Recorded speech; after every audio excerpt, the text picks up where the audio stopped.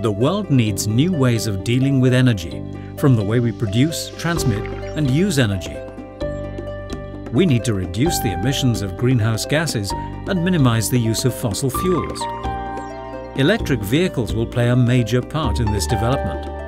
In 2030, 31% of all new passenger and light commercial vehicles will be running electric. This is an enormous potential market creating significant employment opportunities. To leverage the full potential of this development and to create a harmonized framework for innovators and investors, manufacturers, research organizations and governments need to work together globally.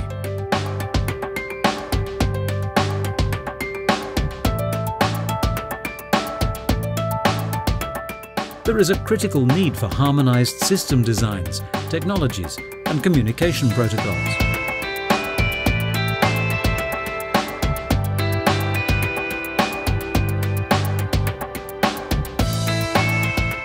The interoperability concept needs to be applied throughout the whole chain, from the electric vehicle to the energy source, via the charging infrastructure and the smart grid.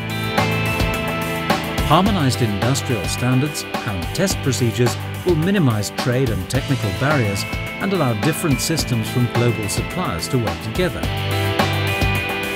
We need to create a single language that all components of the system can speak and understand. To make the most of electric vehicles and future smart grids, collaboration is needed right now. The European Commission and the US Department of Energy have created two state-of-the-art research facilities to make this happen today.